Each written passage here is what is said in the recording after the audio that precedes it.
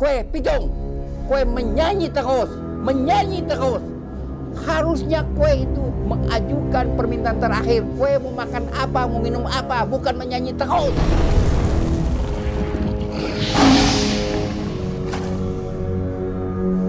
Ya, Assalamualaikum warahmatullahi wabarakatuh Teman-teman semua, balik lagi bersama gua Vasco Ruseimi di channel Macan Idealis Eh, Hari ini gue bersama Babe Ridwan Saidi Seorang budayawan Betawi, tokoh nasional nih Babe ini Bisa kita bilang walaupun dari Betawi tapi kalibernya udah bicara nasional kita kalau bicara sama Babe Ridwan Nah, Be, gue mau bicara mengenai pitung guys Jadi, pitung ini kan banyak kontroversi ya Banyak eh, ceritanya berbeda-beda Ada yang bilang pitung itu eh, apa namanya perampok, B. Ada yang bilang pitung itu jawara, ada yang bilang pitung itu jago, gitu kan. Ada yang bilang juga pitung itu katanya orang-orang terpelajar. Nah, gimana sih be? Yang menurut babe pandangan babe tentang sejarah yang sebenarnya pitung tuh siapa di orang ini be? Ya, lebih dulu eh, kita kan kalau bicara sejarah mesti ada rujukan. Heeh.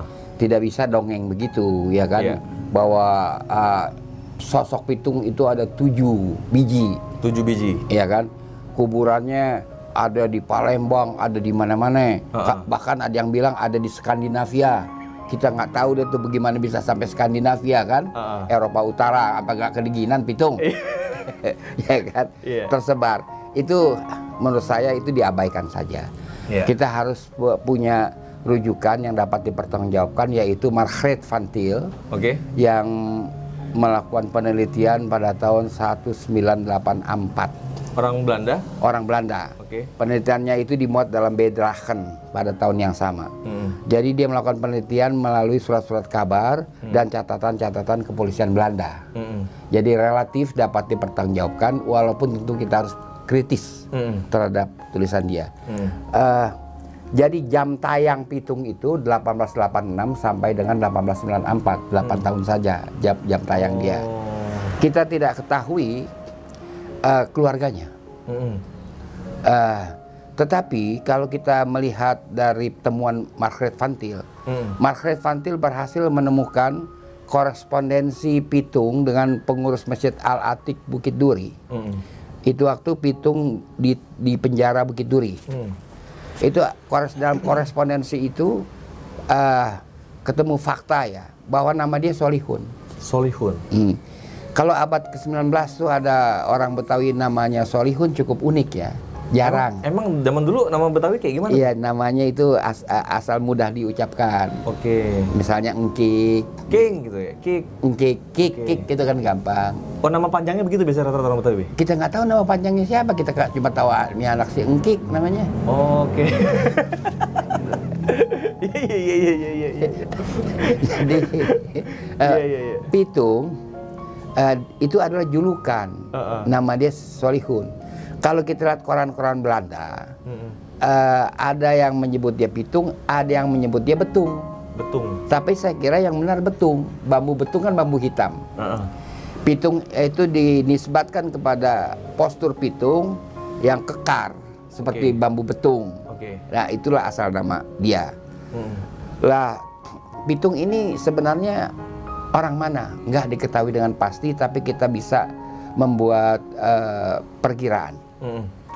Peristiwa pertama terjadi pada tahun 1886 Mm.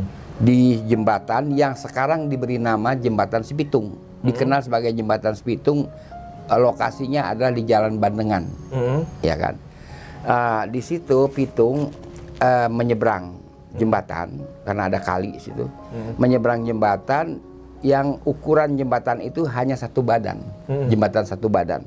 Eh, menjadi adat di mana pun juga, kalau orang sudah masuk jembatan satu badan dari arah berlawanan orang jangan masuk. Yang duluan pokoknya mundur gitu ya? Mundur. Yang belakangan. Nah kebenaran yang belakangan masuk Mm. dari arah selatan, pitung dari arah utara, itu adalah seorang kalau istilah resminya warga negara keturunan Tionghoa. Oke, Ah. Cina deh, Be. Ya kalau Oke. dalam sebutan sosiologis begitu, Oke, ya kan? iya. Karena kita nggak bisa mengganti petek Cina jadi petek Tionghoa, kan susah ya, Iya, iya, iya, iya. ya kan? Iya, iya. Tukang sayur nggak ngerti, bang. Bang, petek Gua- Tionghoa. Petek Tionghoa dia nggak paham, ya kan dia tahunya petek Cina. Iya, iya, iya. Jadi eh, itu Cina tidak mau mengalah. Mm. Malah dia mendemo keahliannya dalam mistik, yaitu pantatnya diputar ke depan. Oke. Nah pitung dibegitukan malah dia marah, dia cabut goloknya, Oke. ditebas lah itu Cina Oke. rebah. Rebah dia. Eh, itu Cina rebah, gempar, kampung Bandengan.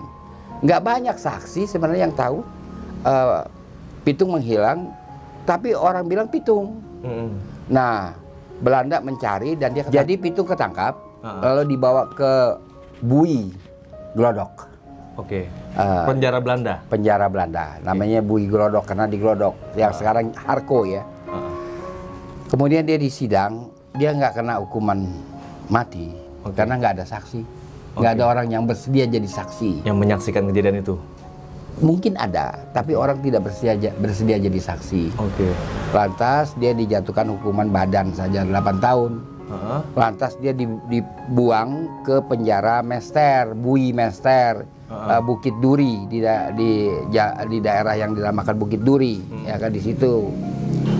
Di situ dia melakukan korespondensi Hmm. dengan eh, pengurus Masjid Al Atik, Mm.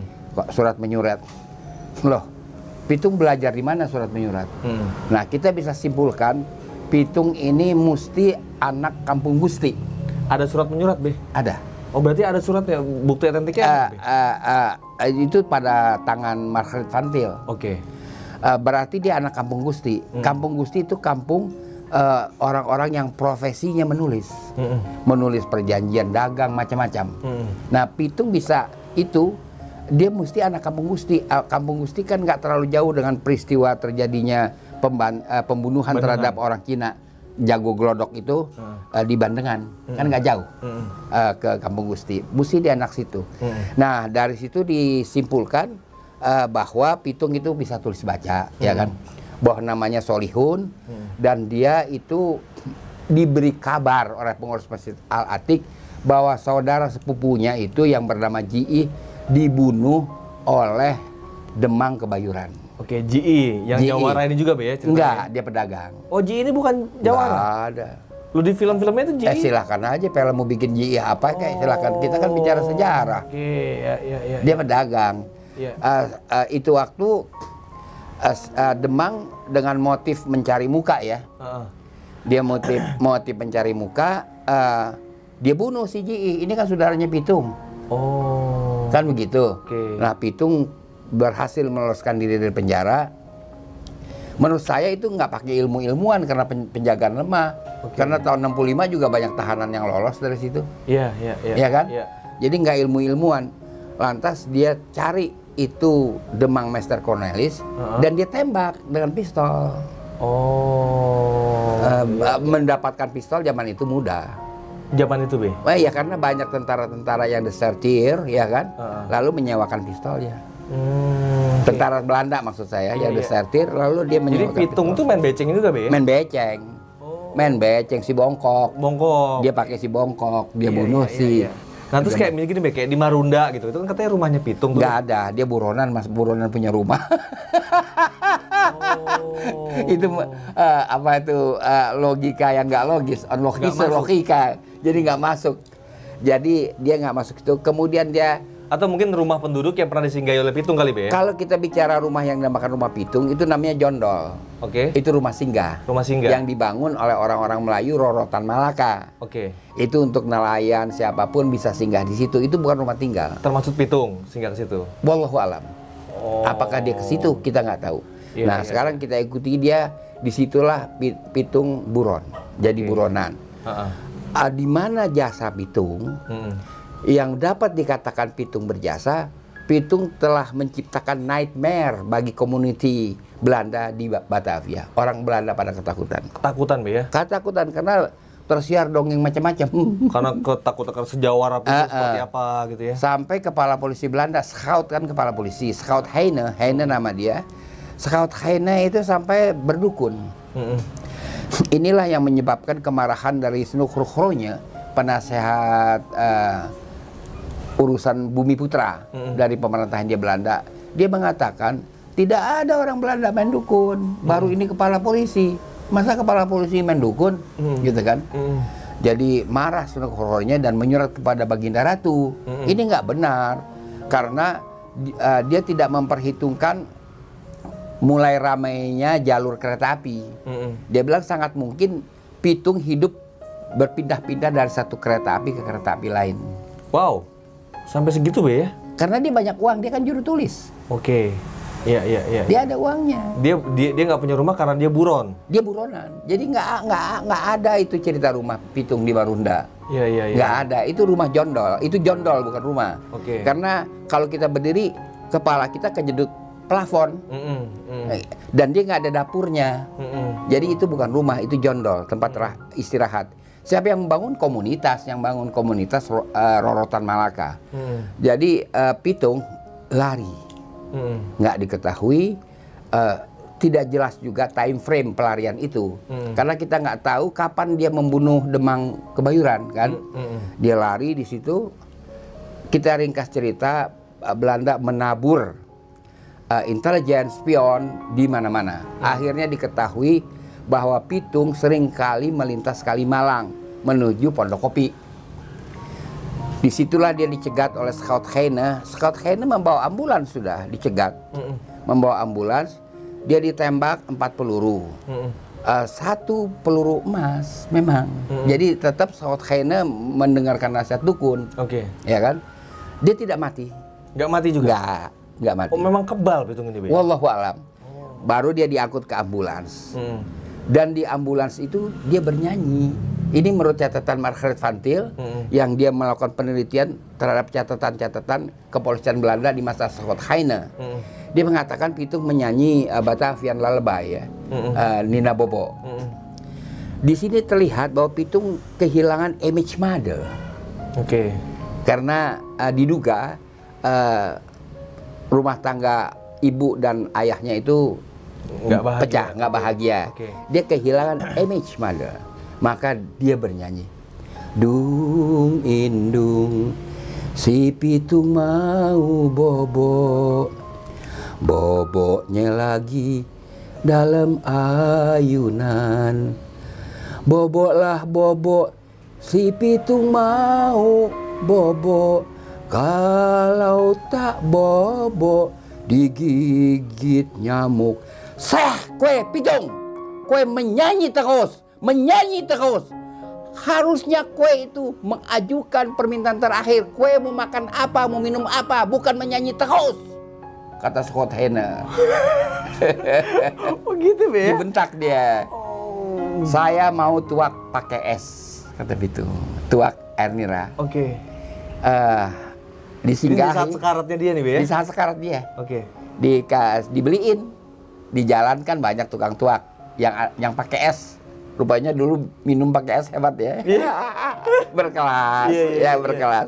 Dia minum nggak sel- nggak selesai ya. Kulkas mahal zaman dulu kali Oh ya? mahal kulkas, gua nggak kebeli lah, ya kan?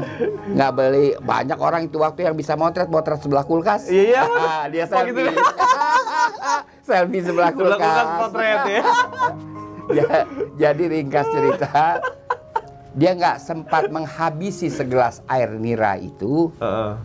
dia mati. Oh, oke. Lantas mobil ambulans meluncur ke hospital militer yang sekarang RSPAD. RSPAD Gatot Subroto? Gatot, Gatot Subroto sekarang. Oke.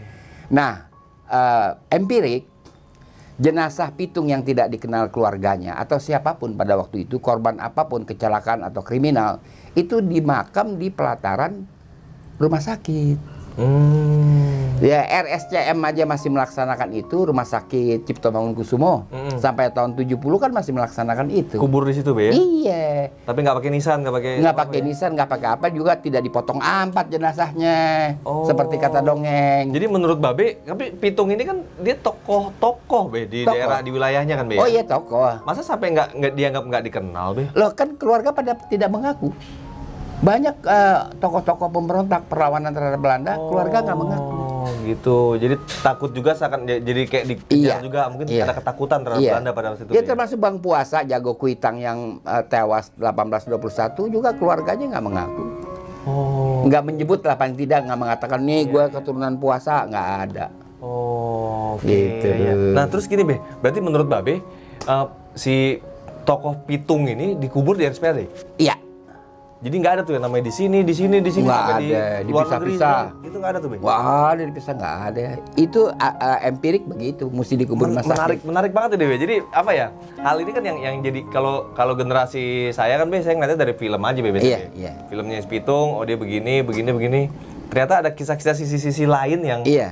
yang gue baru denger guys. Gua, mungkin lo semua udah udah denger apa enggak lo tulis di komentar deh. Kira-kira seperti apa pandangan lo tentang sejarahnya nih sejarahnya nih sebenarnya kan yang yang Babe sebutkan ada bukti-bukti empirik ya Be ya? Iya. Yang ditulis oleh siapa tadi? Margaret Van Til. Van Til. Eh, namun saya tetap kritis terhadap Margaret Van Til karena dia selalu mengatakan kalau ada perampokan yang pelaku yang nggak ketangkap dia bilang pitung. Pitung disalahin. iya pitung disalahin, ya kan?